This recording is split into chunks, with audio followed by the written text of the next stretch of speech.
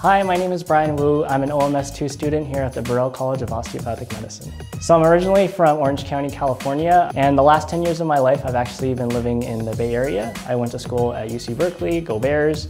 The reason why I wanted to study osteopathic medicine started in around 2019 when I changed my career to medicine.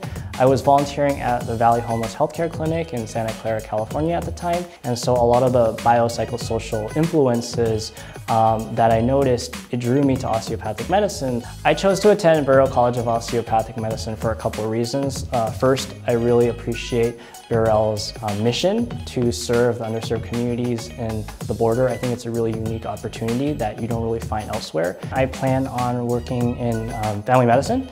Um, that was the biggest drive for me to um, apply to medical school because I really appreciate the one-on-one -on -one conversations that I have with patients and I want to be able to follow patients uh, throughout their entire life.